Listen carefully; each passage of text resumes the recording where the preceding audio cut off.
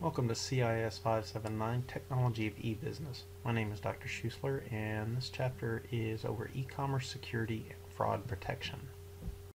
After reading this chapter, you should have a better understanding of the importance and scope of security information systems for e-commerce. You should be able to describe the major concepts and terminology of e-commerce security. We're going to learn about the major e-commerce e-commerce security threats, vulnerabilities, and technical attacks. You'll have a better understanding of internet fraud, phishing, and spam. You should be able to describe information assurance uh, uh, security principles. You should be able to identify and assess major technologies and methods for securing e-commerce access and communications. You'll be able to describe the major technologies for, for protection of e-commerce networks and describe various types of controls and special defense mechanisms. You'll be able to describe consumer and seller protection from fraud describe the role of business continuity and disaster recovery planning, and, dis and discuss e-commerce security enterprise uh, uh, securities enterprise implementation issues. And lastly, you'll understand why it is not possible to stop computer crimes. Security is a very broad field, a very, very broad term and a very broad field.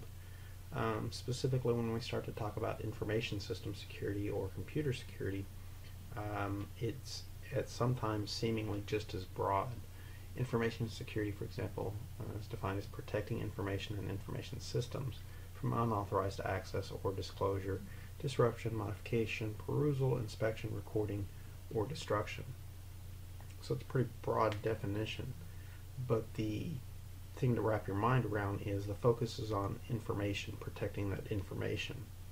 Um, a similar definition for computer security refers to the protection of data, networks, computer programs, computer power, and other elements of computerized information, uh, information systems. So again, it's a very broad definition, but the focus shifts um, to include data, but also to include hardware devices as well.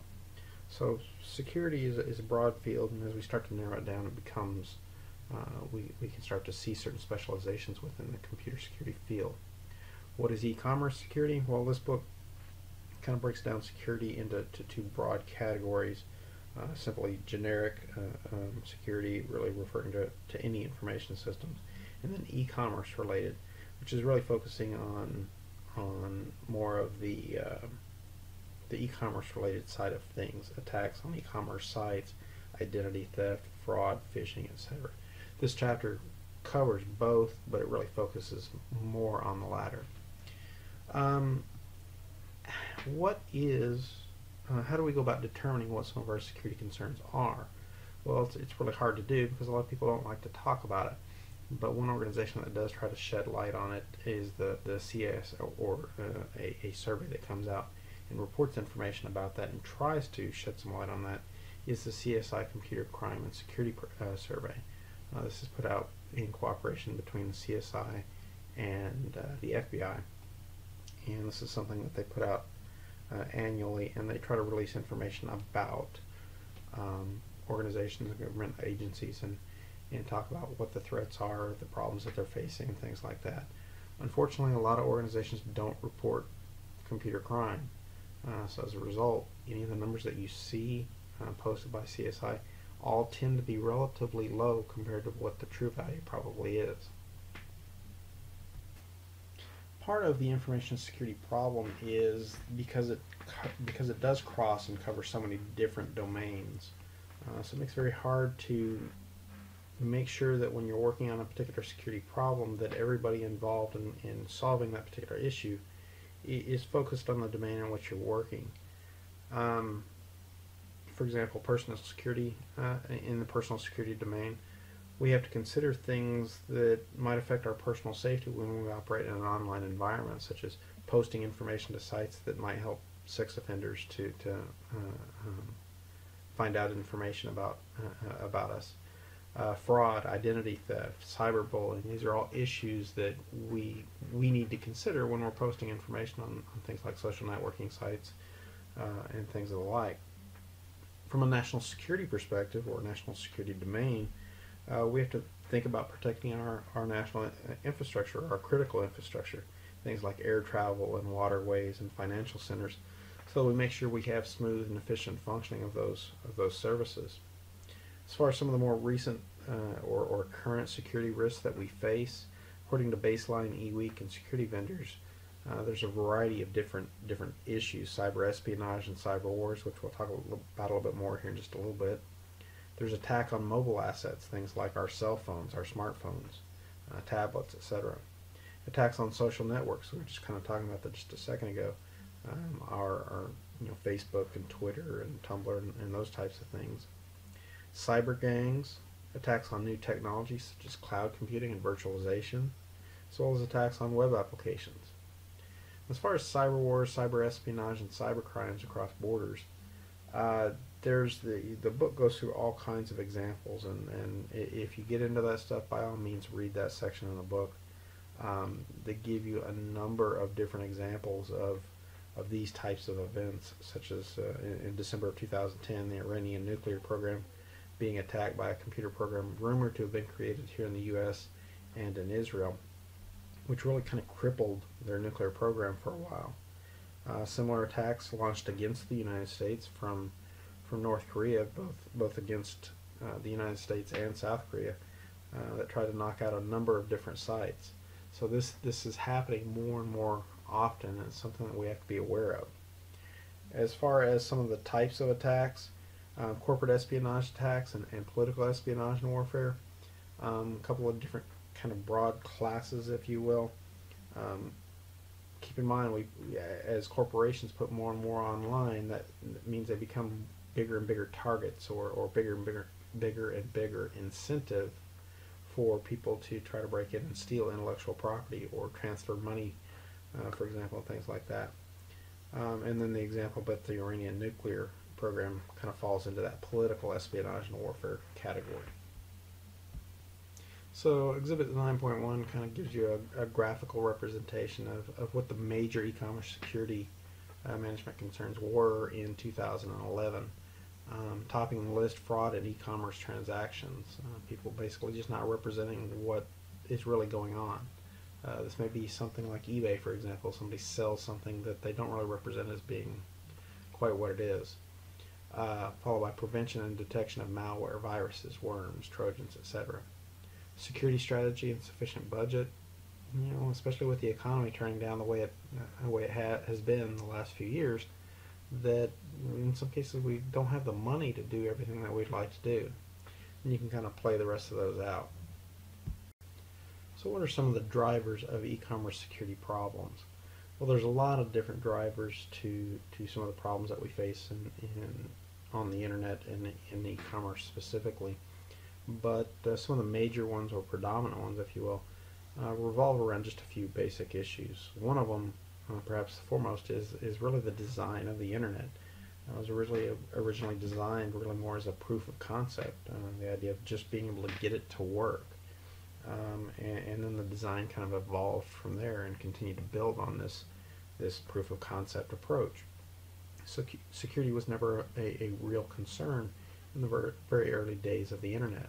And so this led to some vulnerabilities, uh, specifically as it related to DNS, the domain name system, which translates or converts domain names into their numeric IP addresses.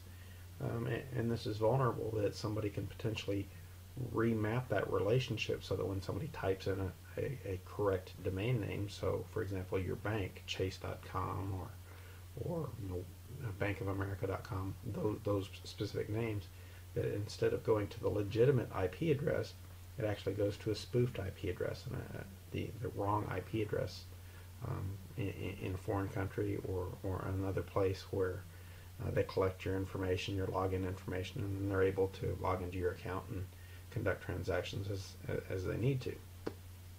Uh, the IP address is, is vulnerable itself, an address that uniquely identifies each computer connected to a network or the internet. And so those two systems, DNS and IP, have to work together the motivations behind computer crimes have shifted as well.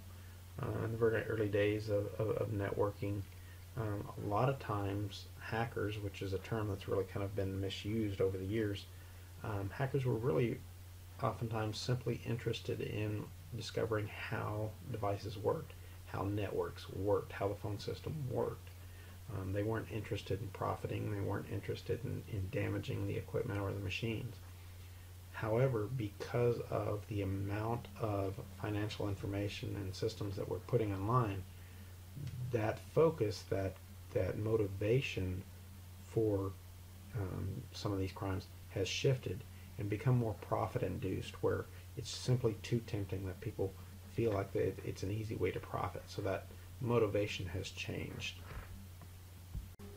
This profit motivation has led to an internet under, underground economy, uh, places where people need to be able to seek out uh, potential buyers and sellers um, for information, for information about bank account numbers, uh, to be able to exchange bank account numbers and money, um, social security numbers, uh, passwords to various websites such as social networking sites or banking sites and, and things like that. So the, the this underground economy is basically become a place where where people can come to be, together to be able to buy and sell that that information.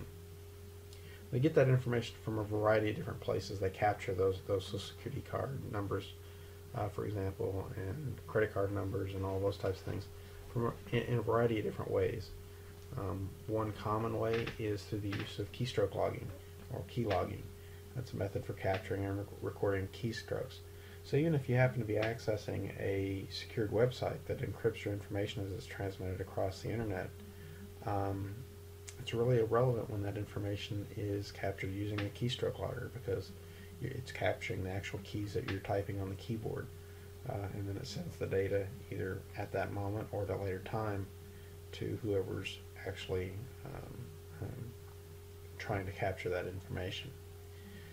As far as the dynamic nature of e-commerce systems and the role of insiders, uh, one of the things to, that, that you really have to keep in mind is that the vast majority of problems that we see are caused by insiders, and probably uh, roughly around half.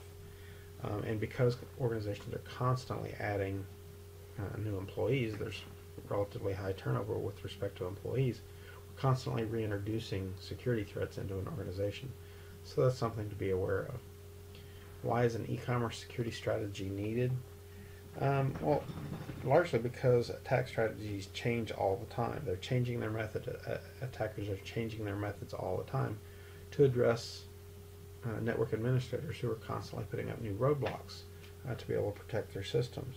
So these things are changing all the time. For example, um, a lot of attackers have shifted their focus from Windows PC based operating systems to other operating systems such as Android.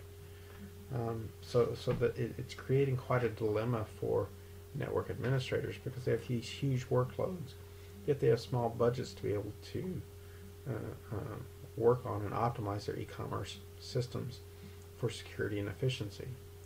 Um, so this kind of keeps them in a state of, of operating reactively rather than uh, proactively in, in, in, terms of addressing some of their, their problems. Um, and, and, and also another issue is that from an attacker's perspective, it's much, much easier to launch an attack and, and, learn about how, how to launch an attack and, and find tools, automated tools that allow them to, to launch these attacks very easily. So the, the number of attackers and uh, attack vectors is rising significantly faster than our ability to protect those systems. Section 9.2 talks about basic e-commerce security issues and the landscape. It starts out by talking about some of the basic terminology or security terminology. Familiarizing yourself with some of this jargon is really pretty useful so that when you hear the terms, when you use the terms, that you, you know what you're using in the right context, that you when you hear it you understand the context in which it's being used. Uh, most of the terms are probably somewhat familiar with you, but I want you to develop that familiarity with these terms. So we'll start out with the business continuity plan, a plan that keeps the business running after a disaster occurs. Each function in the business should have a valid recovery capability plan. The idea behind the, the business continuity plan is that once an incident occurs, that the organization needs to be able to continue to function even if even if at only at a minimal level. And that's what the business continuity plan is. It's about uh, determining what the very bare most minimum uh, uh, functions are necessary and finding ways for those to continue to run even when significant disruptions occur. Cybercrime is the intentional uh, are intentional crimes carried out on the internet. Cybercriminal is a person who intentionally carries out crimes over the internet. Uh, so that's the person that's creating or, or conducting the cybercrime. Exposure refers to the estimated cost, loss, or damage that can result if a threat exploits a vulnerability. So it's really how vulnerable are you? Fraud is any business activity that uses deceitful practices or devices to deprive another property or other rights. Malware, malicious software, is a generic term for malicious software, so it includes a variety of different types of malicious software. Viruses, um, adware, uh, can be adware, uh, spyware certainly uh, is an example, worms. Those are all examples of malware. Phishing is a cybercrime technique to steal the identity of a target company to get the identities of its customers. Um, a lot of times you'll see phishing email, for example, where you'll get an email saying that we're from the bank, we need you to log in and, and uh, correct some information. And then they'll direct you to what seems like the legitimate website, but in, in reality, oftentimes is uh, is a website that's created by them. Um, there's other phishing techniques as well, but that's a, a, fairly common one. And they basically get you to provide personal information or sensitive information to them. And, and it's often done uh, to be able to steal one's identity. Risk is the probability that a vulnerability will be known and used. Risk is kind of an interesting uh, concept when, as it relates to security because the reality is when we when we talk security, when we think about security, um, oftentimes people tend to think that we simply eliminate risk. Um, we eliminate a threat and therefore there's zero risk. But the reality is, is we never truly eliminate all the risk that we take, all the, the, the potential uh, um, bad things that can happen to us. What we really do is we manage risk. We reduce our vulnerabilities down to a point where the risk is is to an acceptable level. So risk is a, relatively easy concept, but it's uh, more nuanced than what most people give it credit for. Social engineering is a type of non-technical attack that uses some ruse to trick users into revealing information uh, or performing an action that compromises a computer network. Um, probably a great example of this is a, a guy by the name of Kevin Mitnick, um, who is probably has some very solid technical skills, but where he absolutely excels is in the art of social engineering. Has written several books on it. Uh, has gotten himself in trouble with the law a few times. Uh, spent some time in jail, but at this point he actually um, um conducts penetration tests for organizations legitimately doing the, the same stuff he's always done, uh, but now he gets paid to do it. And it's very interesting. He's written some very interesting books on the on the subject, uh, so I'd recommend recommend looking him up if you get a, get the opportunity. Um, but it's really kind of a modern day con man if, if you're familiar with an, uh, that old term. Uh, it's just really been applied to uh, the uh, computer computer realm, and it's referred to as social engineering. Spam is the electronic equivalent of junk mail, so those voluminous messages that we get that really don't seem related to anything. Uh, and the reality is, is it's effective. If even if they get half a percentage point of uh, of people responding to the relative to the millions of emails that they actually send, it's still a pretty good payoff because it's cheap to send those emails. A vulnerability is a weakness in software or other mechanism that threatens the confidentiality, integrity, availability of an asset. It's the, referred to as the CIA model. It can be directly used by, an, by a hacker to gain access to a system or a network. So it's a weakness. It, it, it it's a uh, something that we um, don't aren't real good at protecting ourselves uh, with. Um, a lot of times this is because of an unpatched system. In fact, most systems tend to be compromised uh, that tend to be compromised due to some sort of vulnerability are oft, oftentimes simply lacking that uh, a patch that would actually correct for that vulnerability. This is why it's really important to keep your systems patched, to keep your antivirus software uh, up to date, um, is to avoid those, those types of issues. Zombies are computers infected with malware that are under the control of a spammer, hacker, or other criminal. A lot of times these become tools to be able to launch attacks against other computers. Um, so even though you yourself may not actually be a target, um, in some cases you're a target in the sense that they want to use your system against somebody else's system. Um, so again, it's important to keep your system patched. There's a lot of other terms that are out there, um, and, and, you'll, if this is an, an area that interests you, um, certainly you'll run across a lot of other terms. But these are probably some of the, the, the, basic terms that you'll tend to run across. So if you think of e-commerce as a, a, a, battleground, you can really kind of think about the landscape in terms of attackers, defenders, and, and the security requirements that that are necessary. So when you think about attacks, you think about the attackers and the methods that they might employ. So um, intentional attacks, criminals, unintentional uh, attacks, if you want to classify them in that way in terms of natural disasters, malfunctions, human errors, misconfigurations, for example. Targets include computers and, and, information systems and people themselves. So hardware, software, procedures, email, and, and, as I said, the people themselves. Oftentimes, people want to cooperate. They want to be helpful uh, to those around them, and oftentimes, social engineers are able to capitalize on that, and can oftentimes people can can uh, obtain sensitive information from directly from individuals. And then we can think about the defenses, uh, the defenders and the methods that are that are used. So we can think about software, hardware, prevention, detection, deterrence, uh, and, so on. We can also think about regulations, policies, strategies, compliance, privacy, um, and, and, a variety of other methods that we, we actually use to protect our, our, our systems. And we have to do this in the context of the legal system as well. Um, so defense is, a, is it can be particularly complicated depending on the domain that we're operating in. Information systems and e-commerce systems, for that matter, are all vulnerable to a variety of different attacks and, and, and sources of attacks, whether they be unintentional or intentional uh, uh, threats, attacks, crimes, etc. As far as unintentional threats, they can come from a variety of different places. They can come from human error, for example a user may uh, uh, type in incorrect information into a database, uh, really rendering the value of that, that database uh, um, as less than, than what it would be with, if it had valid information. They may misconfigure a switch or a router or something like that, um, which opens up vulnerabilities.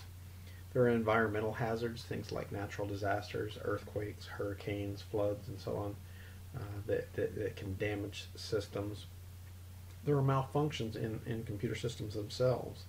Uh, sometimes power surges, for example, uh, will, will cause issues with, uh, with computer equipment, uh, the age of equipment, defective equipment, uh, outdated equipment, poorly maintained. All of that can open an organization up to, to uh, um, being susceptible to certain threats that exist. As far as the as some intentional attacks or, or crimes, um, those can occur, in, in which cases theft of data may occur, uh, perhaps intellectual property that's stolen, or or customer information detailing things like credit card uh, information, personal information, things like that. Inappropriate use of data, uh, like manipulating inputs. The theft of hardware, laptops, and, and other types of equipment. So those are, kind of fall within the purview of, of intentional attacks and, and, and crimes as far as some of the techniques the criminals uh, use and the methods that they use, regardless of whether or not you're a hacker or a cracker, sometimes those techniques happen to be the same. It's not always the case, but in some cases uh, it is. For example, social engineering is something that both might be likely to use. Um, at the same time, there are probably some techniques that crackers are willing to use that is really kind of a code uh, of, of ethics, if you will, the hackers probably are a little bit less likely to, to violate, if you will. So keep in mind that, that a lot of the methods are probably very similar between these two camps, but at the same time there's probably some differences as well.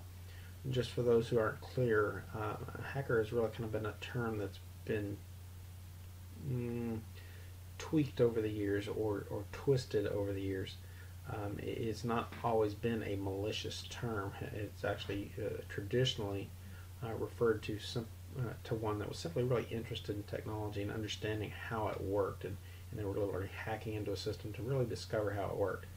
and generally their intentions were not to do harm. It was not to tear up the system or cause damage, but rather just to learn how it worked. Contrary to that was the cracker, and that was a person who was intentionally trying to do harm, intentionally trying to damage something, um, steal something, do something like that. So you kind of keep that, that, that in mind. Hollywood has really kind of twisted it such that hacker has kind of been a generic term um, that's really uses that, that latter definition.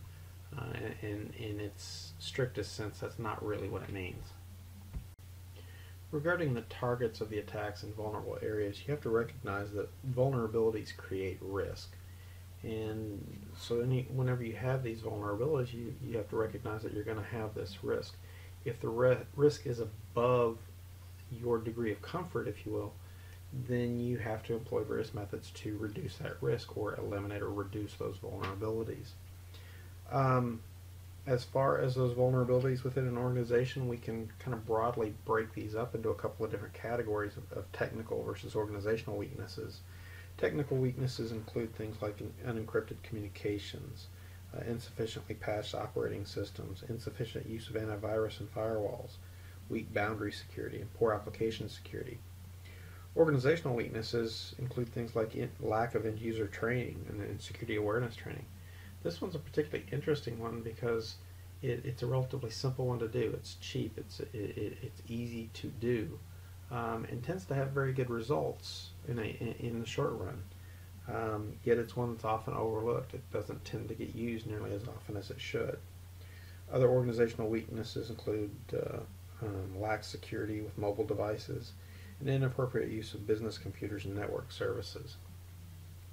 As far as security scenarios and requirements in e-commerce and, and, the content of information security, have to realize that information, uh, or excuse me, uh, e-commerce security involves more than just preventing and, and responding to cyber attacks and, and, intrusions. And the book goes through a few different, um, it goes through a scenario of a, of a user that tries to enter a website in order to obtain and possibly purchase some information and it looks at it from from from three different perspectives: the user's perspective, the company's perspectives, or perspective, and from both parties' perspective. So if you think about it from the user's perspective, how can the user know whether the web server is owned and operated by a legitimate company? How do you know that's really who you're dealing with? How does the user know that the web page and forms have not been compromised by spyware and other malicious code? uh, not that long ago, and when I say not that long ago, within the last few months, uh, the in Granbury, Texas, the, the local drive-in movie theater, the Brazos, um, their website had been cat, uh, uh, uh, classified by Google as containing malware. Um, so just because you visit a legitimate site doesn't mean that that site has not been compromised. How does the user know that, that a dishonest employee won't interrupt and misuse the information? Think about giving your credit card to a, a, a waiter or waitress at a, at a, a uh, at a restaurant. They take that card off, and you really don't see what they do with it. You don't see whether or not they're skimming any of the information, the, the credit card number, your name, the security code that's on the back. You really don't know that, so dishonest employees are certainly a concern from the user's perspective. From the company's perspective, how do they know you as a user won't, won't try to, to compromise their web server? How do they know that the user won't try to, to disrupt the server so that it won't be available to other users? And from both users' perspectives, both parties' perspectives, how do both parties know that the network connection is free from eavesdropping by a third party? It might be listening in on the transaction. How do they know that the information sent back and forth between the server and the user's browser is, hasn't been altered? So these are some of the security concerns that, that occur when transactions are being conducted. So with those various scenarios in mind, we can start to think about the most appropriate mix, if you will, of the various security tools that we have at our disposal. We can start to think about authentication, which, if I were to argue, I would say is probably the most important uh, aspect of security. We need to know that a person really is who they say they are.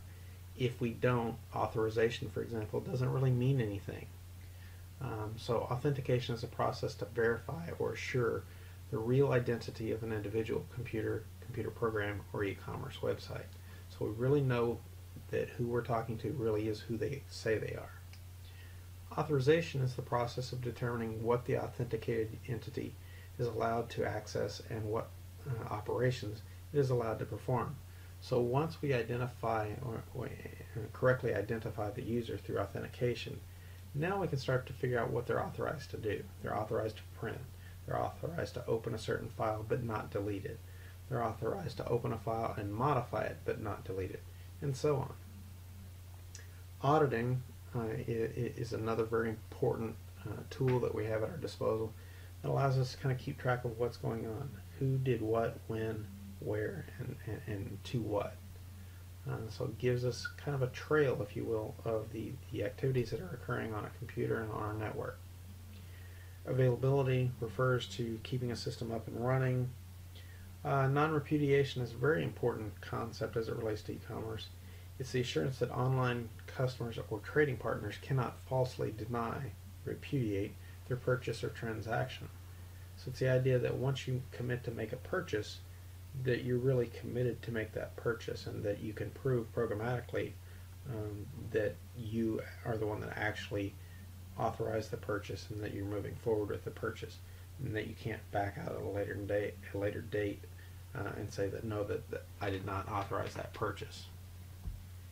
Ideally, security would be everybody's business in, in an organization, but the reality is is that security needs and security uh, uh, applications oftentimes fall upon the the IS department or security vendors to provide those services in, in, terms of the technical side of things, and they rely on management to provide administrative uh, the administrative aspects such as policies and procedures and things like that. Um, together, both of these groups work uh, in, tandem to develop some sort of an e-commerce strategy, a strategy, a strategy that views e-commerce security as the process of preventing and detecting unauthorized use of the organization's brand, identity, website, email information, or other asset, and attempts to defraud the organization, uh, its customers, and employees. So to get together, these these two camps work together to implement some sort of an e-commerce strategy in an effort to really kind of have a, a, method, a methodical approach to addressing the organization's security needs. And the idea behind providing a methodical approach is that hopefully you don't miss things, you don't leave any gaps in your security posture or your security plan. Now, these next several bullets on this slide and the next uh, slide really borrow some concepts from the field of criminology, uh, specifically deterrence theory um, and a, a, a, what's referred to as the security action cycle put forth by a, a professor out of the University of Georgia named Detmar Straub. Um, and general deterrence theory consists of four dimensions. They, they talk about three here. Um, the fourth one doesn't really translate particularly well into e-commerce. Um, it, it, does transfer it, just not as well as, the, as these three. But deterring, detecting, and preventing are, are intuitive ones that really make a lot of sense and transfer quite well. Deterring measures, actions that will make criminals abandon their idea of attacking a specific system the possibility of, uh, of losing their job for an insider. So basically, you have policies in place. You um, make sure that everybody's aware of the ramifications of their actions. So we, that's why we have policies in place when you log in that tell users what will happen if they, they use our systems inappropriately. We put up warning signs. We, we do various things to deter users from using our systems inappropriately. The next dimension is prevention measures ways to help stop unauthorized users, also known as intruders, from accessing any part of the e-commerce system. So these are actual preventive measures. So in the real world, we might think of a locked door. Um, we might think of a fence with barbed wire across the top. In the security realm, computer security realm, we, we may think of passwords, biometrics, uh, things like uh, um, encryption, things like that. The last dimension we're going to look at here is, is detection measures, ways to determine whether intruders attempted to break into e-commerce systems, whether they were successful, and what they may have done. So think of our audit, our audit logs, which tell us who logged in, when they logged in, from what terminal they logged in, what files they accessed, when they accessed those files, and what they did with those files. So those are what provide us the ability to determine on what happened and create an audit trail, if you will, to be able to trace back what happened, when, where, and, and, and how. This leads us to information assurance, the, the protection of information systems against unauthorized access to or modification of information, whether in storage, so data at rest, processing, or in transit, data in motion, and against the denial of service to authorized users, including those measures necessary to detect, document, and counter such threats. That's really the ultimate goal of e-commerce security is to be able to provide information assurance. Exhibit 9.3 leads off section 9.3, which talks about technical attack methods from viruses to denial of service. And the exhibit lists in order, in descending order of importance, major technical security attack methods. And it starts off or leads off with malware, so viruses, worms, and trojans. And the reality is, uh, a lot of research suggests we really have a pretty good handle on malware in terms of our antivirus solutions. But this is something that's changing significantly because our reliance on portable devices, our smartphones, tablets, things like that, are creating a lot more attack vectors for malware writers. Uh, and, and, this is certainly creating a problem for organizations. The next one is unauthorized access. Keep in mind that said unauthorized access, not unauthenticated access. So in a lot of cases, unauthorized access are internal users that are simply accessing resources that they shouldn't have access to, that they're not authorized to view. This is followed by denial of service, spam, hijacking, and, and, and botnets. I mentioned earlier some of the differences between. So how does a computer virus spread? Well, the term computer virus comes to us from the, the, the field of biology um, because it does uh, transfer from host to host in very similar way as you might see um, in, in, biology. First, a virus starts when a programmer writes the program itself, the, the virus, and embeds it in some sort of a host program. The virus attaches itself and travels anywhere that the host program or place of data travels, whether on CD, local area network, or bulletin boards. This didn't used to be a big deal before the days of, of uh, widespread days of networks because oftentimes you had to infect a disk and the disk had to travel from machine to machine, which was usually a very slow process, so viruses didn't traditionally spread particularly fast. The virus itself is set off either at, at, by, uh, uh, by some sort of time limit or some other circumstance, such as a, a simple sequence of computer operations. Maybe you're clicking a particular key combination or you open an attachment. Then it does whatever the programmer has intended for it to do, referred to oftentimes as its payload, uh, which may be simply to type certain characters on the screen, to delete your hard drive, or obviously many things in between. A few very specific viruses are referred to as, as a macrovirus, a Trojan horse, and then a very specific example of a Trojan horse, a banking Trojan, are all, like I said, very specific examples of types of, of, of uh, viruses. A macrovirus or a macro worm is, a, is executed when the application object that contains the macro is open for a particular procedure uh, is executed. Um, this is obviously very common to Microsoft products, specifically Microsoft Office products. In a lot of cases, macros are used to do create certain functionality within the applications but you also run the risk when this occurs to introduce a virus into your system. A Trojan horse is a program that appears to have a useful function, uh, but that contains a hidden function that present, presents a security risk. And this is to, you know, pays homage to Greek mythology and the Trojan horse that had the, the soldiers inside. Um, and the idea is, is that you have a valid program that you get to use. Oftentimes it's a free program that you download and provides some sort of function. Sometimes it's a game, uh, or perhaps gives you information about the weather or shopping, something like that. So it appears to have a legitimate purpose, but oftentimes in the background there's another program that's attached to it that's capturing your keystrokes or something like that. Uh, and, and, that's the, the catch to it. That's what creates the security risk. A banking Trojan is a specific specific example of a, of a, of a Trojan horse. A Trojan that comes to life when computer owners visit one of a number of online banking or e-commerce sites. And again performs a very similar function. Captures your keystrokes captures um, any kind of transactional data things like that. Denial of service attack is an attack on a website in which an attacker uses specialized software to send a flood of data packets to the target computer with the aim of overloading its resources.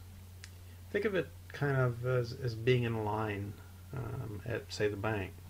And it seems like you, you, you go to the bank, you get in line, and the patron that's up at the front of the line keeps talking to the, the teller. And just when you think they're about done, they start talking to the teller some more. They bring up another topic, another topic, another topic. They never finish their, their topic. They keep talking to the, the teller. You're being denied service. You're being denied access to the bank, to the teller, the, the service that you need. And this is conceptually what a denial of service attack is. Um, distributed denial of service is the same concept. It's just rather than having a single attacker attacking a target, you've got multiple attackers attacking a target. Page jacking is related to one of the concepts we talked about earlier, the weakness, or one of the weaknesses of the internet in terms of DNS and IP addressing and, and, and somebody changing that mapping between those two those two addresses. Um, and basically what, what can happen is you can redirect a user from the legitimate IP address to a fake IP address or to a different IP address to a page that looks very similar, if not almost identical, to the page you're trying to get to. So creating a rogue copy of a popular website that shows contents similar to the original to a web crawler. Once there, an unsuspecting user is redirected to malicious websites. So it may contain all this content. Think about it, they're, they're criminals in many cases. They don't care about stealing the, the logos of companies. Um, they don't think twice about any of, any of those types of legal issues, uh, copyright issues they're trying to capture your information. So they're going to make try to make it as authentic looking as they possibly can to get you to share information that you might not otherwise share. Before jumping into a botnet, um, first you kind of need to know what a bot is. A bot is a captured computer. It's a computer that uh, a cracker remotely is captured and has control over in some respect, in some way they've got control over that that bot or over that computer, and that computer is then referred to as a bot, isn't it? Being robotically controlled. It's a, it's a bot. Um, a botnet is a collection of those computers, a huge number, hundreds, uh, hundreds of thousands potentially, of hijacked internet computers that have been set up to forward traffic, including spam, viruses, to other computers on the internet. By controlling this botnet, it gives whoever the controller is an awful lot of control. They can launch these distributed denial of service attacks. They can uh, um, remotely um, send spam and forward traffic and viruses very quickly all around the globe. So botnets become a very, very powerful tool in the arsenal of, of crackers. Malvertising is a, a basically fast, uh, false online advertising designed to trick you into downloading malicious software onto your computer. Usually what will happen is you'll get some kind of a fake message on, on the screen saying that your computer's been, been infected with a virus or has some sort of security vulnerability. And this is the most popular type of, of, of malvertising. And they're trying to encourage you to download some fake security software to be able to correct the issue. And it's really infected software that's, that's designed to, again, capture personal information of some type or another.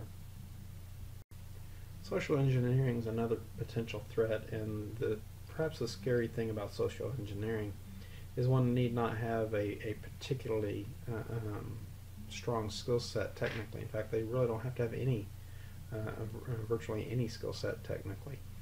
Um, the process basically works by applying a variety of different phishing methods in order to be able to target victims and obtain personal information from them. This may be simply through phone calls, for example, getting victims to share information with you that oftentimes might not seem uh, uh, particularly important at the time, but it turns out to be very important later.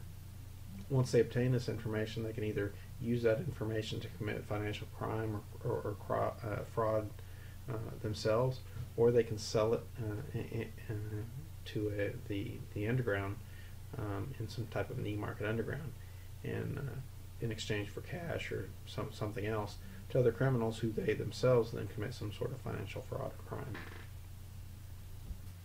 Sophisticated phishing methods are often used on the internet to obtain personal information, which usually lead to um, various types of fraud being committed. This is the type of thing that's going to be pretty common in any type of environment where buyers and sellers really can't see each other. It really breeds that that that possibility for, for fraud to occur. Um, as far as some of the specific examples of fraud on the internet, um, the book talks about on page 472 a couple of different examples, uh, Hawaiian Airlines specifically and Google Apps uh, as a couple of uh, specific examples. In general, things like literary scams, poetry scams, jury duty scams, chain letters and email scams, lottery scams, Nigerian scams, work at home scams. There's way too many scams to be more, far more than you could possibly possibly list. Those are all examples of different types of scams that can be run. the idea behind this is that if you can use this the information that you gather in these phishing attempts, you can start to build an online profile. You can start to build an identity for a person um, and use that identity to commit further fraud. Identity theft refers to stealing an identity of a person, and, and, that information is then used by someone pretending to be someone else in order to steal money or get some other sort of benefit. Exhibit 9.6 illustrates how, uh, one, shows one example of how phishing might occur in, in a specific, very specific situation. First step is that a hacker tries to uh, attack a website in order to be able to redirect users to another server. Once the, the, the a legitimate user tries to, to reach the legitimate server, they're redirected to this bad website. This bad website then sends sends data or malware back to the, the user, at which point that that uh, software is installed without the user knowing. Once that's completed, that software tends to run in the background and sends private information back to the hacker. Virtually every online organization is subject to various cybercrimes that, that are out there. And though you might think that uh, banks, for example, financial institutions, might have more stringent security, they're, as, they're susceptible as well. A variety of different types of, of online financial fraud exist. Um, other financial forms of financial fraud, things like the sale of bogus inventory, uh, investments, phantom business opportunities, and get rich quick schemes, to name a few. As far as spam and spyware attacks, over 90% of messages on corporate networks in April of 2010 were, spam, were email spam. It's estimated that worldwide, a total of 62 trillion, trillion that's trillion with a T, spam emails were sent in 2008. Globally, annual, annual spam energy use totals 33 billion with a B kilowatt hours. That's equivalent to running electricity used in 2.4 million homes in the United States with the same gigahertz uh, emissions as 3.1 million passenger cars using 2 billion gas, uh, gallons of gasoline. Spam is frustrating and, and confused and, and annoyed email users for years. Um, approximately 80% of all spam is sent by fewer than 200 spammers. It's a relatively small number of, of individuals that are generating the vast majority of spam email. Since the cost of spam is borne mostly by the recipient, spam is really a pretty effective email advertising form. Email addresses are collected or harvested in a variety of different ways, including collecting them from chat rooms, websites, news groups, and viruses that harvest users' address books. So keep in mind whenever you're, you're sending information out there, you're signing up for something. When it includes your email address, a lot of times that email address can be harvested in some way, shape, or form. As far as spyware, spyware is a computer software that is installed surreptitiously on a personal computer to intercept or take control or partial control over the user's interaction with the computer without the user's knowledge or consent. Some of the functions of spyware extend well beyond simple monitoring of what's going on. They can collect information as well. So that's something to keep in mind. They can also interfere with your control, use computer cycles, resulting in a slower computer. Can change your computer settings, change your home page, for example, and it can result in slow surfing uh, speeds and or loss of functionality. Social networking makes social engineering particularly easy.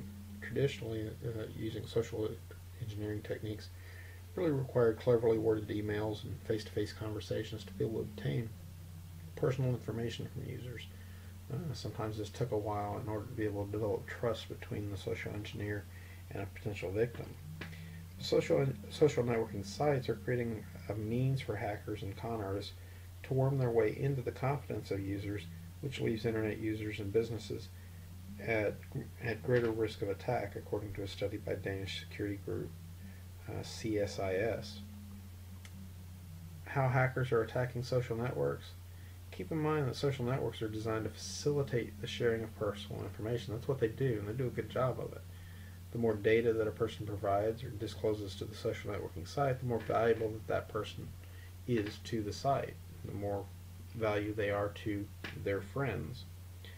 Unfortunately, social networking sites tend to have a pretty poor track record uh, in terms of security. Some of the examples that talked about in the text on page 477, um, a lot of social networking sites allow for applications and to be installed on your on your social networking site. A lot of times those those applications are written by third parties, and so you run the risk of those third par parties not necessarily having the best intent uh, in mind. Another technique is to create fake profiles and use those fake profiles to post mal malicious links and fish phish other users. There's a variety of other ones that you can check out on that page as well. Spam and social networks in the, in the Web 2.0 environment. Social networks attracted spammers due to the large number of potential recipients and the less secured internet platforms. So think about that. There's a lot more targets out there that you can access because social networks are very popular right now, very large, and have a lot, lot of, uh, of internet users. It's a less secured environment, so obviously you're going to attract spammers. As far as, as bloggers or uh, uh, other types of, of Web 2.0 env uh, environment issues, think about blogs. Blogs have found hundreds of automatically generated comments with links to, uh, to herbal Viagra and gambling uh, vendors on their pages software bots that crawl the internet looking for suitable forms to fill in automatically generate the majority of the blog of blog spam. Blog owners can use tools to ensure that humans and not automated uh, uh, systems enter comments on their blogs. I personally run into this uh, on an e-commerce site that I run uh, where products are offered for sale and there's a section for comments and, and periodically we'll get comments that have literally nothing to do with with the website, the product, or anything of that nature. They're completely unrelated, and it's being filled in by by uh, individuals like this.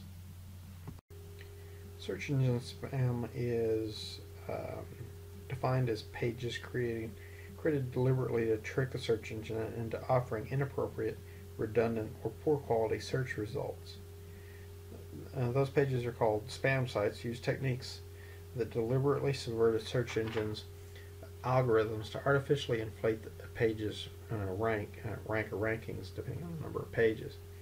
A similar tactic involves the use of splogs, which is short for, for spam blog sites, which are blogs created solely for marketing purposes. Spammers create hundreds of blogs that they link to the spammer's site to increase that site's search engine ranking basically the idea is, is that a site uh, is generated in order to be able to attract users um, even if they're not there for the intended purpose but then they're bombarded with various advertisements in the hopes that they'll click on one of the one or more of the various links and that's how they generate their revenue is, is from those clicks a data breach is, is a security incident in which sensitive, protected, or confidential data is copied, transmitted, viewed, stolen, or used by an individual unauthorized to, do so. Uh, the, the, types of incidents range from, from a concerted attack by cyber criminals with the, the backing of national uh, governments careless disposal of, used computer equipment or data storage media. Types of information that can be obtained or retrieved, financial information, personal health information, personally identifiable information, trade secrets of a corporation, or intellectual property. Between a period of January uh, between the period of January 2005 and May of 2008, it's estimated that over 227 individual or 227 million individual records containing sensitive personal information were involved in security security breaches in the United States. So it kind of gives you an idea and an appreciation for the massive uh, amount of data breach uh, incidents that are occurring just here in the United States alone. Section 9.5, the Information Assurance Model and Defense Strategy, starts to introduce to you a framework uh, with which you can use to kind of think about security mechanisms uh, as a way of protecting your data, protecting your information. And they start with what's known as the CIA Security Triad, or the CIA Triad. Three security concepts important to, to information on the internet confidentiality, integrity, and availability. Confidentiality is the assurance of data privacy and accuracy, keeping private or sensitive information from being disclosed to unauthorized individuals, entities, or processes. In other words, your data is seen by those who need to see it and not seen by those who don't need to see it. Confidential. The I in the CIA triad uh, stands for integrity. And this is the assurance that stored data has not been modified without authorization. A message that was sent the, is the same message as that which was received. In, that last sentence, or that last part of the sentence, really kind of sums it up. Whatever data we send is the data that's actually received on the other end without being modified at all. If it is modified, we know about it. If it's modified, it, that message is said to lack integrity. So we want to make sure that me messages have integrity so that we know that a message has not been modified from where, when it was sent to where it was received.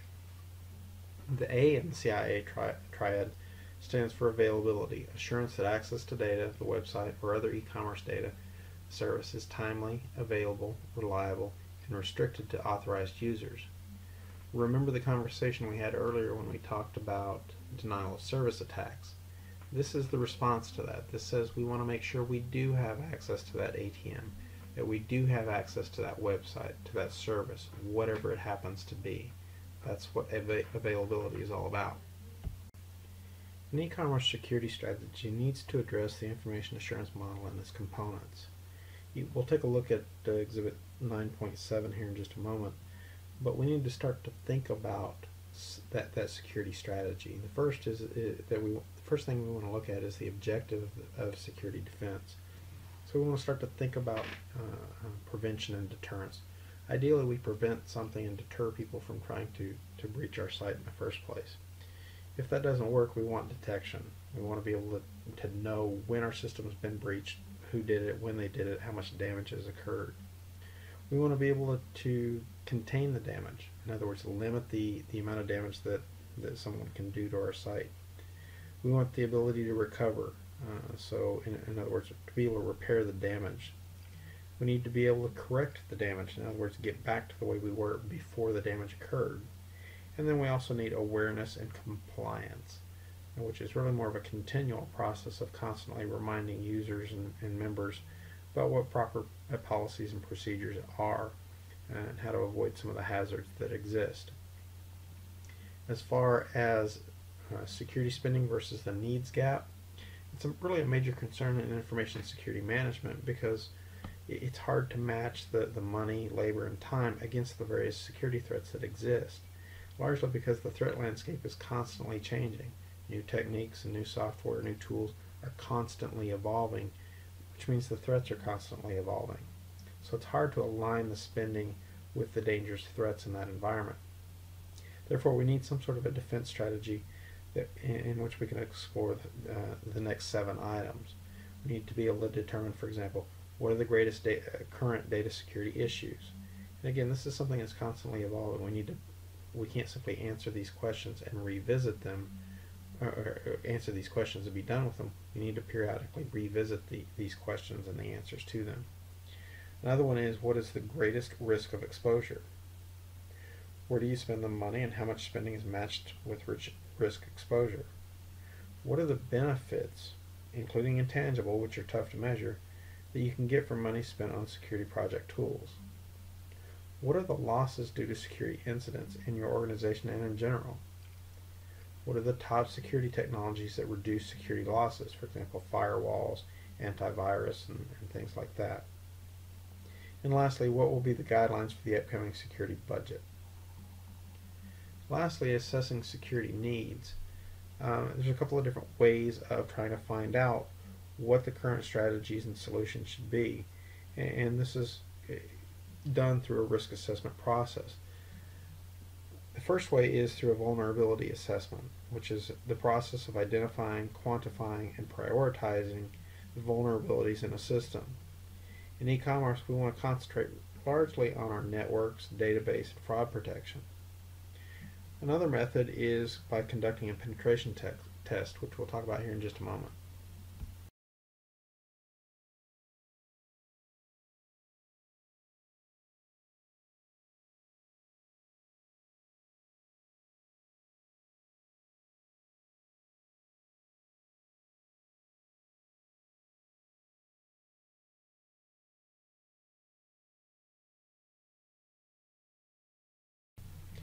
Back to the concept of a pen test or penetration test. It's a method of evaluating the security of a computer system or networks by simulating an attack from a malicious source, for example, a cracker. Um, so it's a, it's a way to test the system to make sure that you're resilient to some degree, more or less, to various uh, vulnerabilities that exist. As far as, as uh, e-security programs, which are, are defined as all the policies, procedures, documents, and standards, uh, standards, hardware, software, training, and personnel that work together to protect information, the ability to conduct business and other assets. Keep in mind that they have a life cycle through which that uh, uh um, throughout that life cycle, e-commerce security requirements must be continuously evaluated and adjusted. That life cycle management of uh, an information system security involves maintaining this, the security posture of an information system throughout its life, throughout its, its life cycle, really from the conception of, of the system to design to implementation to release to retirement through the through the integration of information. As far as computer security incident management, this is really the involves the day-to-day -day operations, the monitoring and detection of security events on a computer or computer network, and the execution of proper responses to those events. The goal is to be able to create well understood events and uh, produce predictable responses to damaging events and computer intrusions in order to make sure that you're responding appropriately, responding properly. And that way you can drill and, and make sure that you're, you're responding in a quick and, and timely manner. And graphically, Exhibit 9.8 illustrates the e-commerce security lifecycle management process. Uh, it, this is one representation. It, it, could actually take on a number of different forms, but you see response uh, uh, or actually executing the incident response plan. Uh, moving on to training, requirements, design, implementation, verification, release, and you either start back over or you retire that plan and you move on to an, a new plan in order to be able to apply all of this in, in within the context of everything we've discussed so far, um, we can look at it at this general framework uh, that's, that's presented here. Uh, starting off with defending access to computing systems, data flows, and e-commerce transactions. How do we go about doing that? Well, we have to start to, to account for and think about access control, encryption of content, and public key infrastructure. With respect to the second item, defending e-commerce networks, this is where firewalls start to step in in order to be able to protect our systems. Intrusion detection systems and intrusion prevention systems are, are a good fit here as well. As far as general administrative and application controls, now we're starting starting to think about establishing guidelines and checklist procedures. For number four, protection against social engineering and fraud. This is where we, we start to describe protection against spam, phishing, and spyware it's largely going to be based on training, uh, training our various users throughout an organization on how to spot these these types of of, uh, of issues. For number five, disaster preparation, business continuity, and risk management. These are usually managerial issues that are supported by very uh, specific software pieces. And lastly, implementing enterprise-wide security programs. This is where we kind of bring it all together and we coordinate the activities of the pre five previous uh, points in a cohesive manner and to make sure that we're not missing anything. Section 9.6, Access Control, Encryption, and Public Key Infrastructure, picks up that uh, on in detail on that very first point that we just finished with. Um, access control is the mechanism that determines who can legitimately use a network resource, and this is done through some form of authentication. Authentication is that we're going to verify a user is who they really really is who they claim to be. And it's usually tightly integrated with authorization. Once we've identified that they really are who they say they are, now we know what what resources to grant them access to and which ones to deny them access from.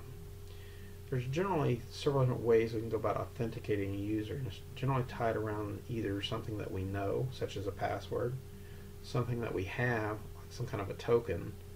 Uh, think of our ATM card as an example. We, we use our ATM card and a PIN. We combine those two and we have a, a, a token. Your PIN does you no good without the ATM card. Um, and then lastly, what we are, perhaps the be best choice of the three, mostly because we can't lose it.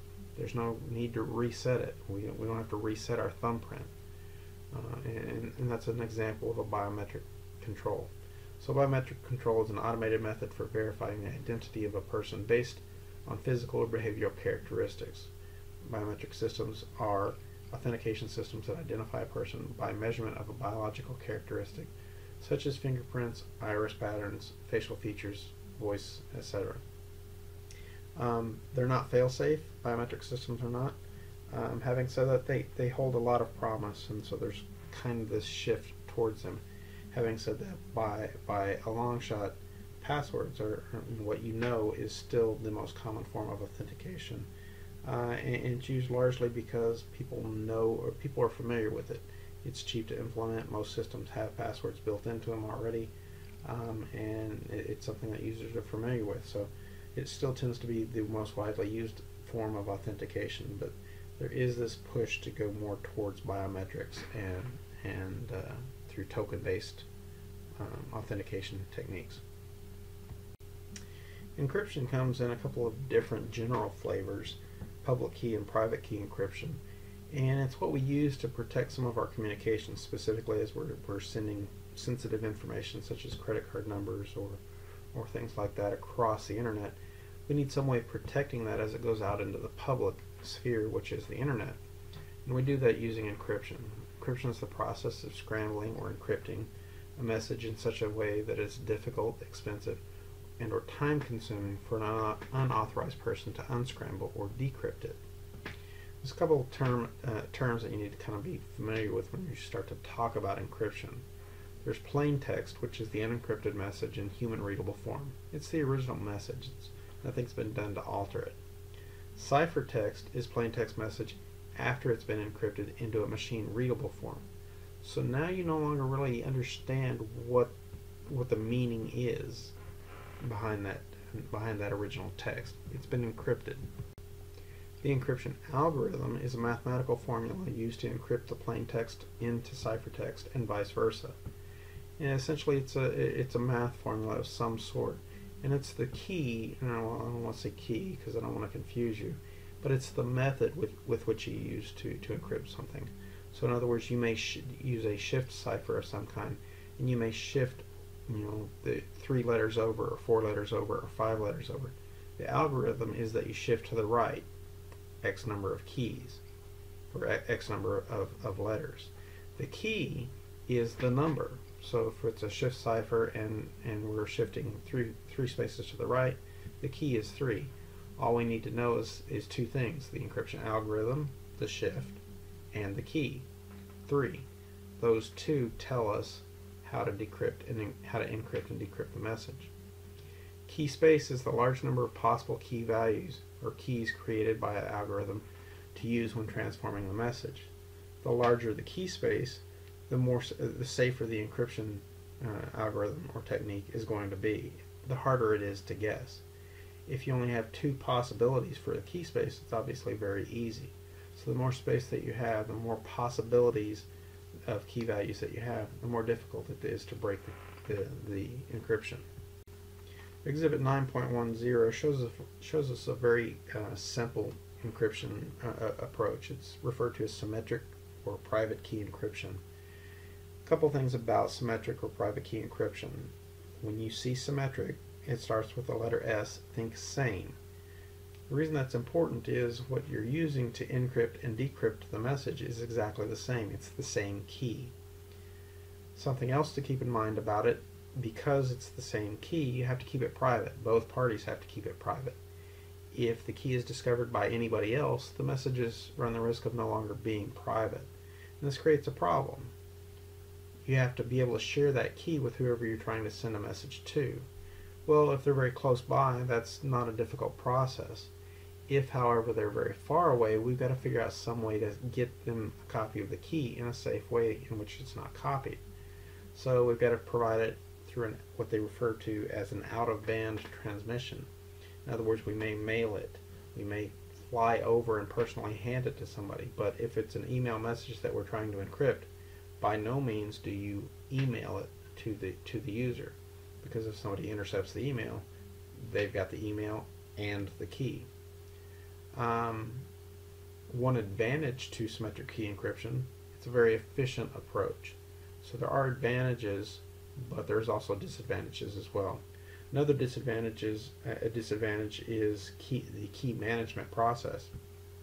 When there's two people that want to share a message, it's very simple and straightforward. It's just two keys, uh, one key and a copy uh, of that key.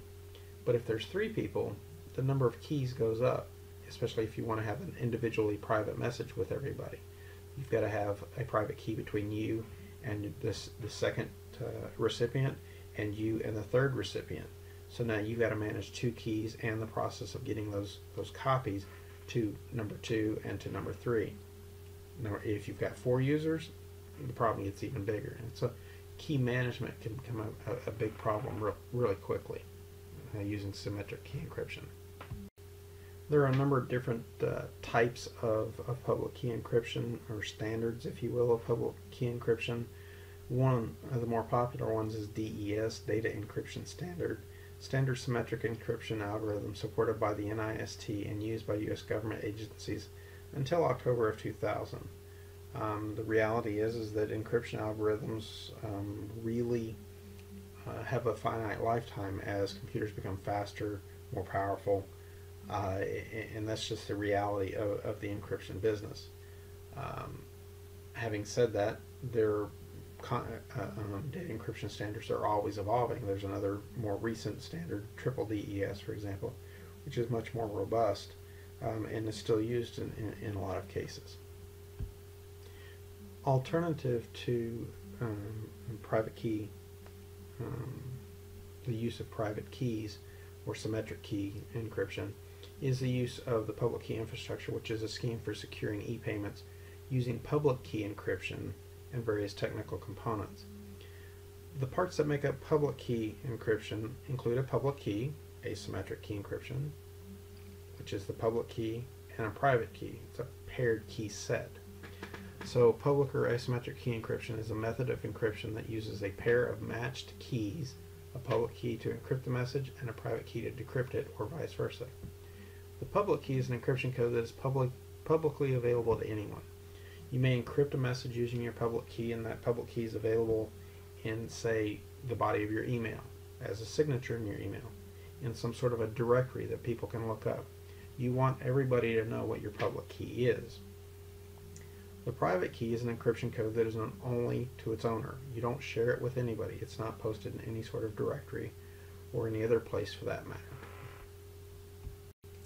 Public key infrastructure, or, excuse me, public key uh, encryption, really uh, is something that uh, uh, basically allows us to send uh, messages back and forth in a safe manner in a much more easy process than private key encryption.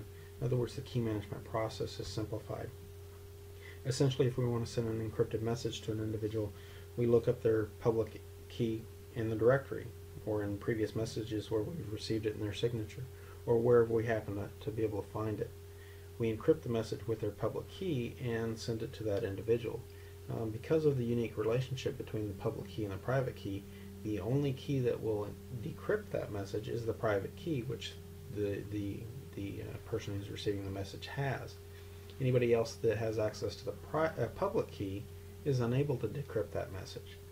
Now, this unique relationship between these two keys gives us the capability of doing something else gives us the capability of creating a, what's known as a digital certificate or digital uh, signature. And this allows us to validate the sender and timestamp of a transaction so it cannot be later claimed that the transaction was not authorized or that it's invalid.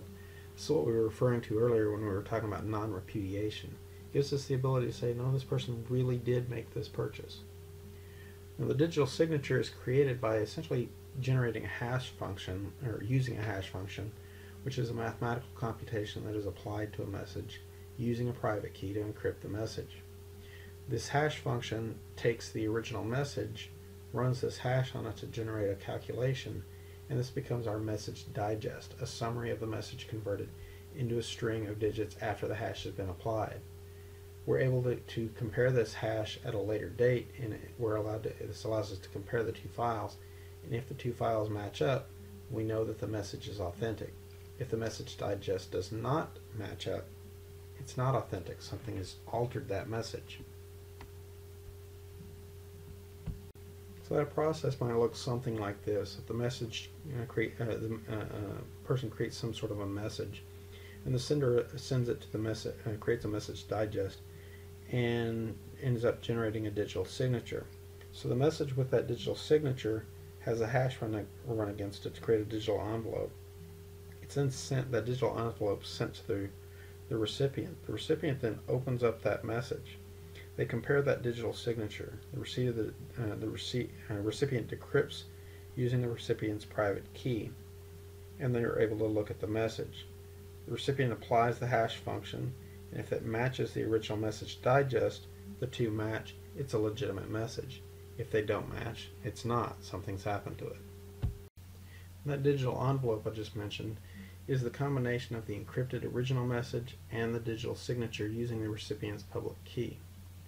Now in some cases the, the, the sender and the receiver don't know each other and if you're conducting some, some sort of a financial transaction, especially if it's a large one, one where you may not trust, uh, uh, neither party trusts each other, you may end up using what's known as a certificate authority, um, which is a third party that issues digital certificates.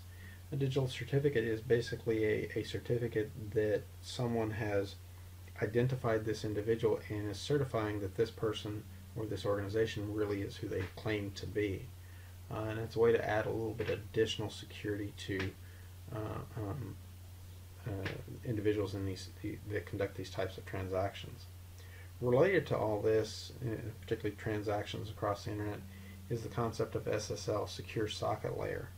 Uh, SSL is just a method of encrypting messages across the internet that combines both public key and private key encryption uh, in order to be able to take advantage of the the the uh, uh, take advantage of both of the advantages of each approach.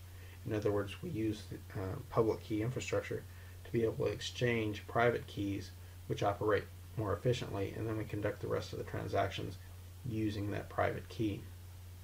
Um, it, it's definitely something that adds complexity to transactions that are occurring across the internet.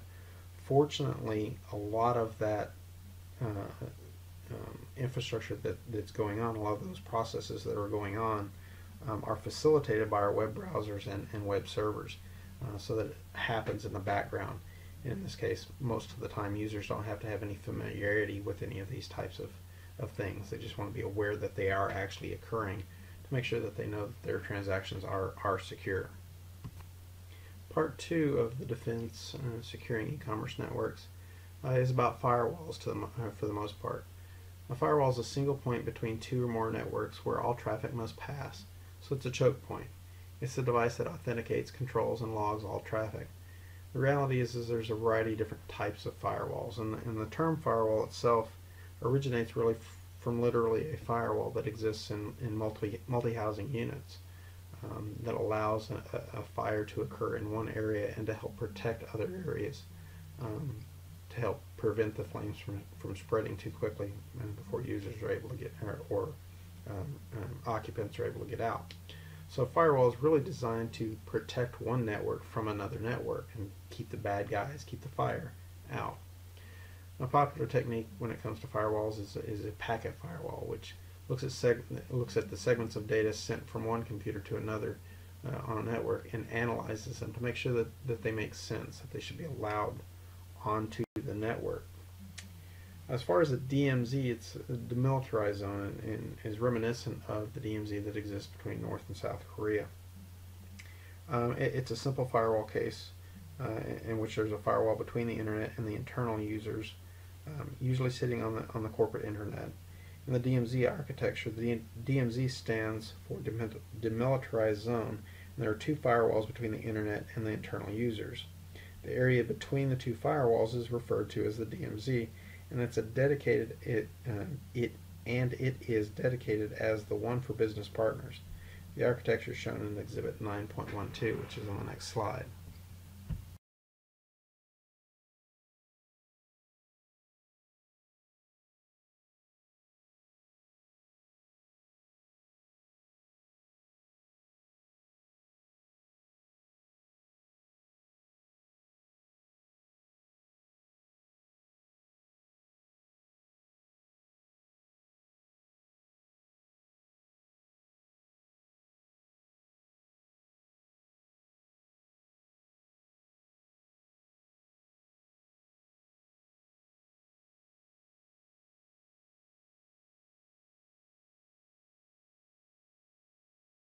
As stated earlier, firewalls come in a lot of different uh, uh, flavors, if you will, uh, in terms of being host-based, those installed on your individual computer, and network-based firewalls, which are, are really designed to protect an entire network. A personal firewall is a network node designed to protect an individual user's desktop system from the public network by monitoring all the traffic that passes through the computer's network interface card. This is what typically you see built into Windows. Uh, in a lot of cases, there are third-party firewalls, uh, personal firewalls that, that may be installed with your your antivirus suite or something of that nature. Zone Alarm is a is an example of a personal firewall. Um, additionally, there's there's a variety of other defense mechanisms that you can use, such as antivirus, malware detection, and, and botnet protection. Another defense mechanism that, that you can use is a, what's known as a virtual private network, a VPN. And this is a network that uses the public internet to carry information but remains private by using encryption to scramble the communications, uh, authentication to ensure that information has not been tampered with, and access control to verify the identity of anyone using the network.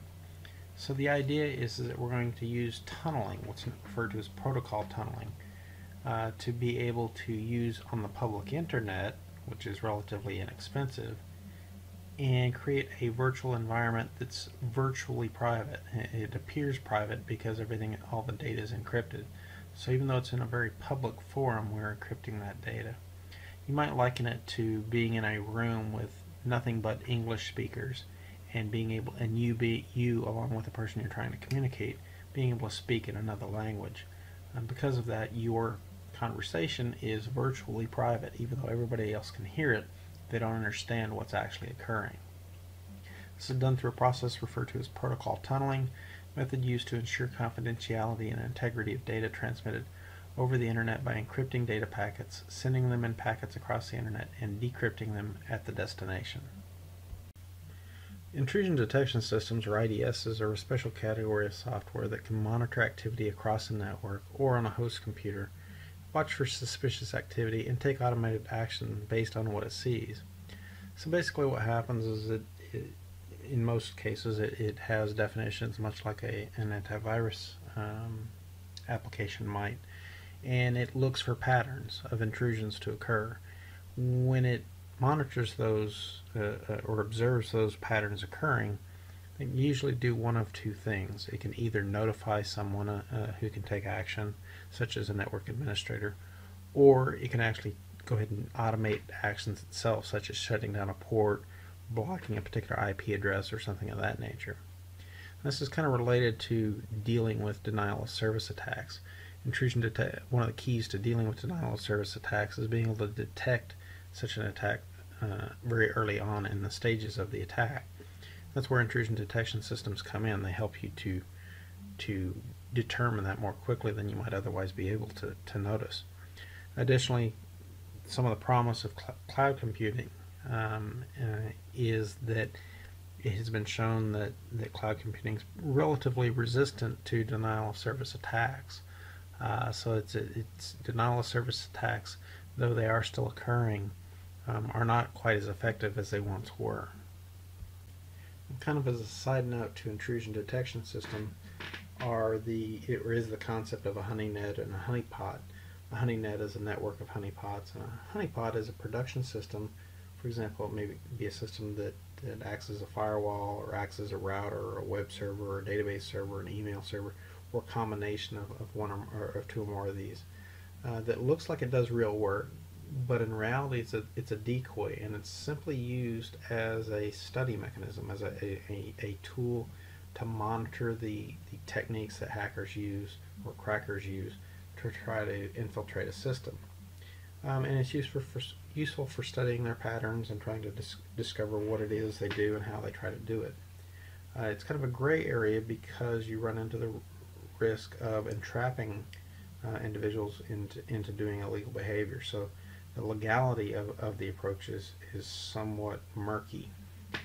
Um, but back to the more general concept of, of security in the in, in the, these areas that regardless of your, your firewalls and your your your uh, intrusion detection systems and the information that you learn from the use of honeypots or honeynets, uh, you still also have to, to address email security. Um, email is traditionally not a particularly secure mechanism for sending and receiving messages, though there are some things that you can do to to increase your security, such as encrypting your messages um, and and running antivirus um, packages that test your email as you're sending messages and receiving messages to reduce the amount of, of malware that you might send or receive. The third step or third category of, of defending our, our e-commerce systems includes the use of general controls and, and uh, uh, application controls and things like that. Application controls, or excuse me, general controls are controls that are established to protect uh, the system regardless of the specific application. For example, protecting hardware and controlling access to the data center are independent of any sort of specific application. So these include things like the appropriate design of the data center, um, shielding cables against electromagnetic interference, fire pre prevention detection and extinguishing systems. That may include power shutoff and backup batteries, properly design and maintain and, and operated air conditioning systems to help cool the data center. And then things like motion detection alarms and that detect physical intrusion. Those are all examples of general controls that really aren't specific to the software and the, the hardware that's being used. Application controls, however, are intended to protect specific applications. So this may be controls that are built into a specific application, say for a web server, for example, to help protect the, the software that, that's in or the, the various files that are located within a web server. Same thing for an email server, a file server, etc. Exhibit 9.13 kind of gives you a graphical representation of, the, of some of those different defense controls that you can can utilize. Again, on the the general in the area of general defense controls, you've got physical ac physical access, data security, communication, administrative, and other. Um, and, and, you can use a variety of different tools to to help um, defend systems this way. For example, when we talk about access, you can use biometrics. You can use various web controls for authentication and encryption and things like that. On the application side, maybe you're you're monitoring input and maybe you're monitoring uh, processing or output. Those are various things that you can monitor to be able to help defend the applications that you're using. Traditionally, compliance or non-compliance or breach information was gathered manually. Uh, and obviously this was very time consuming and, and often res resulted in incomplete information. The use of intelligent agents, however, really provides a lot of promise. Not only does it allow you to uh, gather a lot of that inf information automatically, um, but it also allows you to be more complete and uh, to, in some cases, respond automatically to situations that, that occur.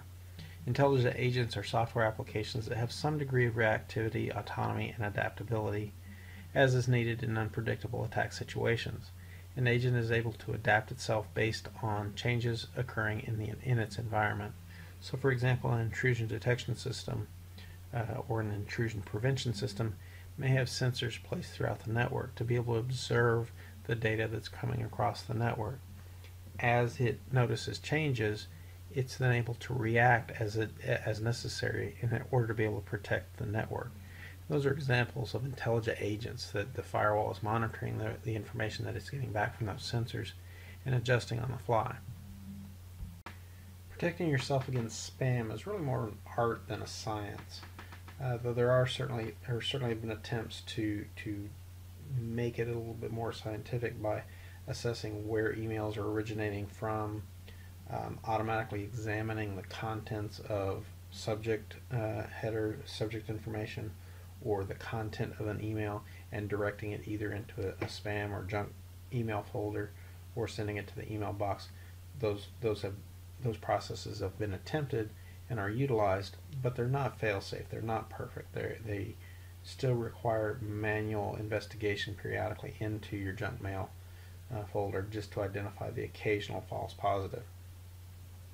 Um, in the United States specifically, an approach has, has been taken to try to deal with the spam issue, uh, refer, which is referred to as the CAN-SPAM Act, controlling the uh, assault of non-solicited pornography and marketing uh, act. It's a law that makes it a crime to send commercial email messages with false or misleading message headers or mis misleading subject lines. While great in theory, a big part of the issue comes from the fact that email messages originate from around the globe, and it's very difficult to enforce something like this. Having said that, the majority of spam actually originates from the United States, uh, so that's that's something to keep in mind when we're talking about this. But again, because other countries don't necessarily have those same laws, it's very difficult to enforce something like that overseas. As far as protecting yourself against pop-up ads, some of it really depends on where the ads are originating from. There's several solutions that exist, uh, one of which includes software that will block pop-up ads and prevent them from appearing. In some cases, ISPs offer tools that will, will stop pop-up pop-ups from occurring. Certain browsers offer that feature as well. But keep in mind, in some cases, it's not they're not the pop-up ads are not originating from the browser. Rather, they're originating from applications that are loaded on the on the computer. And a lot of those tools that that stop pop-up browsers tend to be less effective or ineffective completely against those types of pop-ups.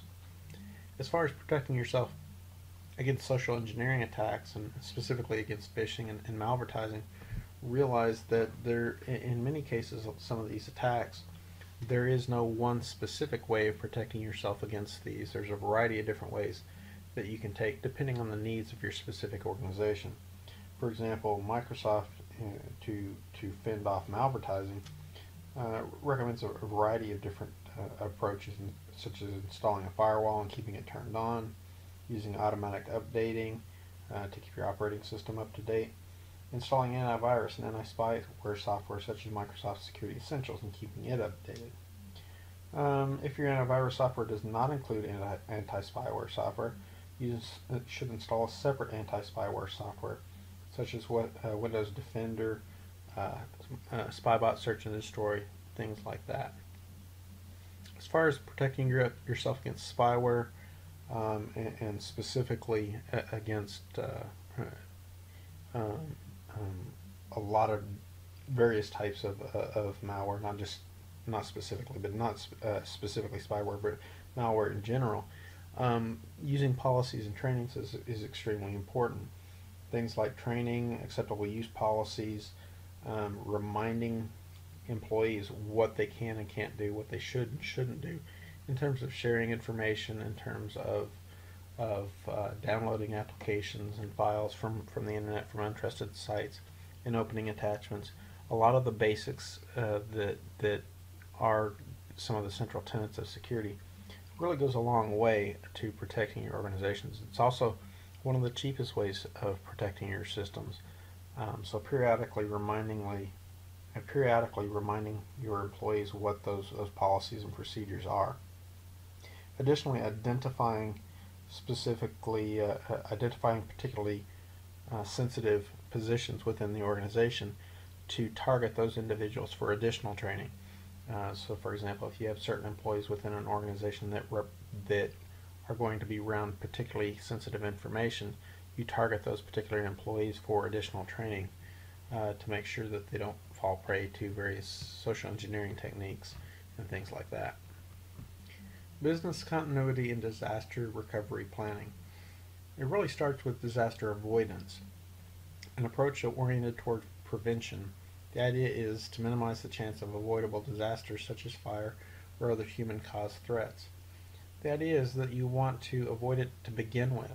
If that's the case, then you never have to worry about figuring out how to continue to do business through the disaster or after the disaster getting back up to speed. If you can prevent it from ever occurring in the first place, those other issues become a moot point. The purpose of a business continuity plan is to keep the business up and running after a disaster occurs. Each function of the business should have a valid recovery capability plan. Recovery planning is part of the part of an asset protection. Every organization should assign responsibility to managers to identify and protect assets within the spheres of, of uh, functional control. Planning should focus first on recovery from a, a total loss of all capabilities. Proof of capability usually involves some kind of what-if analysis that shows that recovery that the recovery plan is current. All critical applications must be identified and their recovery procedures addressed in the plan.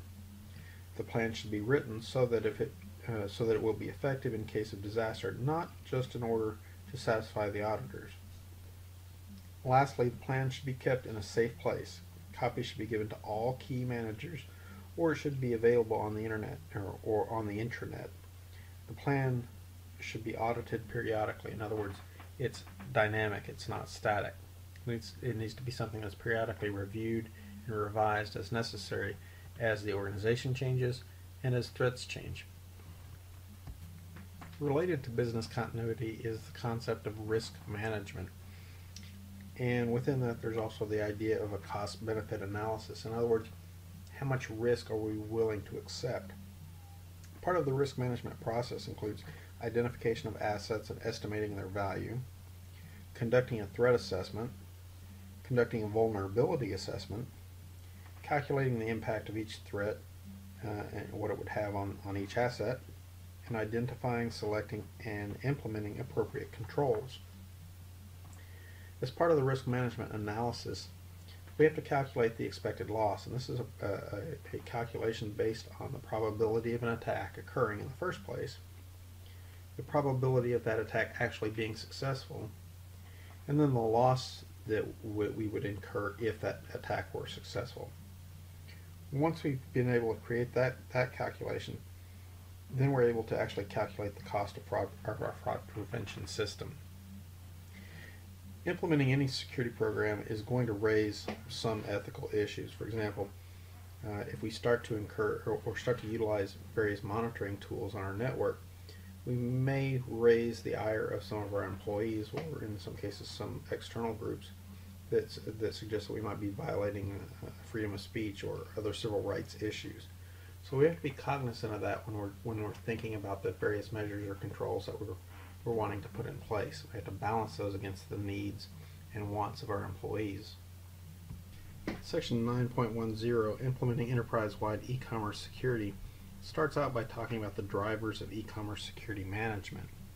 This includes proliferating worldwide laws and regulations, the complexity of global organizations due to outsourcing, an ever-increasing emphasis on the value of intangible information assets, new and faster technologies, and the often brutal competition in the global marketplace.